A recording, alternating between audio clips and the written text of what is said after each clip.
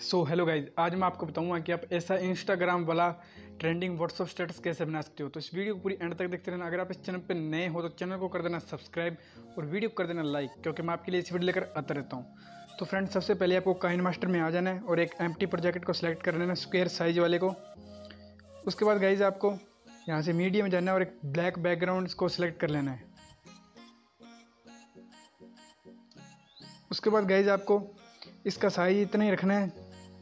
और उसके बाद आपको यहाँ पर एक पीएनजी का लिंक आपको डिस्क्रिप्शन में मिल जाएगा, उसको डाउनलोड करना है और इसमें ऐड कर लेना है। तो मैं ऐड कर लेता हूँ गाइज़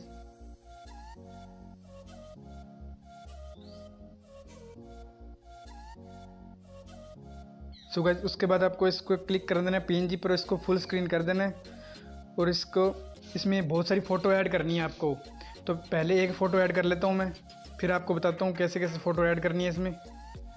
तो गाइज़ सबसे पहले जैसे मैंने ये फ़ोटो ली इसके बाद क्रॉपिंग के ऑप्शन पर क्लिक करना और इसको स्केयर साइज़ में क्रॉप कर लेना है। उसके बाद किसी एक डिब्बे में यहाँ पर सेट कर लेना है और इस यहाँ पर ब्लेंडिंग का ऑप्शन पर जाना है और इसको स्क्रीन कर देना है।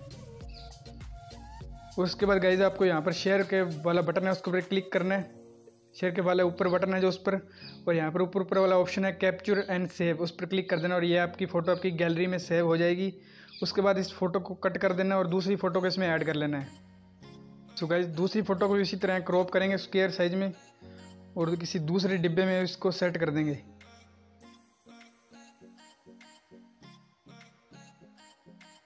और इसका भी ब्लेंडिंग को स्क्रीन कर देंगे। और उसी की तरह यहाँ पर आप कैप्चर एंड सेव कर देंगे यहाँ पर। उसके बाद इस फ़ोटो को कट कर देंगे गाइज़ एक फ़ोटो और ऐड कर लेनी है इसमें। सो गाइज़ इसी को भी क्रॉप कर लेंगे स्केयर साइज़ में। और किसी एक डिब्बे में यहाँ पर आपको सेट कर देनी है। अलग अलग डिब्बे में करनी है, हर अलग अलग फ़ोटो आपको अलग अलग डिब्बे में सेट करनी है यहाँ पर और ब्रांडिंग को स्क्रीन कर देंगे। उसके बाद कैप्चर एंड सेव कर देंगे गैलरी में सेव कर लेंगे से उसके बाद इस फ़ोटो क्लिक करके डिलीट कर देना है और उसके बाद एक फ़ोटो आपको पूरी स्क्रीन पर लगानी है तो इसमें ऐड कर लेता हूँ मैं। सो गाइज़ तीन फ़ोटो अलग अलग डिब्बे में सेट करने के बाद आपको चौथी फ़ोटो है जो उस पर उसको पूरी स्क्रीन पे करना है तो इसको मैं फुल स्क्रीन कर देता हूँ। और इसके ब्लेंडिंग को मैं स्क्रीन कर देता हूँ। और यहाँ से एडजस्ट में जाकर इसकी सेचुरेशन है लास्ट वाला ऑप्शन उसको बढ़ा देना है।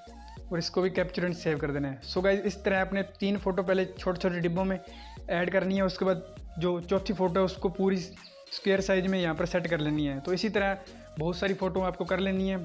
तो मैं अभी के लिए वीडियो रोक लेता हूँ, बहुत सारी फ़ोटो कर लेता हूँ मैं, फिर आपको बताऊँगा। तो गाइज़ इसके बाद आपको वापस बैक आ जाना है। फ़ोटो बहुत सारी ऐड सेव और कर लेने के बाद और एक एम प्रोजेक्ट दोबारा स्क्वेयर साइज़ को सिलेक्ट कर लेना है। सो गैस यहाँ पर आपको सेटिंग ऑप्शन मिल जाएगा और उसके नीचे एडिटिंग का ऑप्शन है, उस पर क्लिक कर देना और ऊपर पर ऑप्शन है जो ऊपर वाला, उसको बिल्कुल डाउन कर देना है। स्लाइड करके 0.5 रख लेना है और उस पर क्लिक कर देना है। उसके बाद जो हमने फ़ोटो इसमें ऐड की है सेव की है उसको, इसमें ऐड करना है तो मीडिया ब्राउज़र में जाना है, जो हमने फ़ोटो सेव की है गैलरी में उस पर क्लिक करना है और यहाँ पर तीन फ़ोटो पहले छोटे छोटे डिब्बों वाली इसमें ऐड करनी है। उसके बाद आपको चौथी फ़ोटो बड़ी वाली है वो उसको ऐड करनी है। तो मैं एक बार आपको दिखाता हूँ देख लेना आप। पहले तीन फ़ोटो है छोटी छोटी उसके बाद एक बड़ी फ़ोटो है। इसी तरह तीन फ़ोटो पहले छोटी करनी है, उसके बाद एक बड़ी फ़ोटो करनी है। तो जल्दी जल्दी से मैं कर लेता हूँ गाइज़ सो गाइज़ मैंने फ़ोटो इसमें ऐड कर ली एक बार मैं आपको प्ले कर दिखाता हूँ। तो उसके बाद गाइज़ आपको लेयर में जाना और एक कलर वाली वीडियो का लिंक आपको डिस्क्रिप्शन में मिल जाएगा, उसको डाउनलोड कर लेना और इसमें ऐड कर लेना है।